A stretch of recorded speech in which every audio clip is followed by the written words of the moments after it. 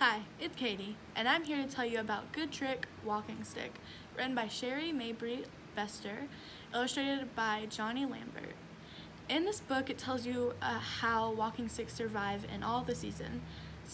It shows you from how they eat to how they don't get eaten. So if you want to know how walking sticks live their lives, go check out Good Trick Walking Stick to see walking sticks in action.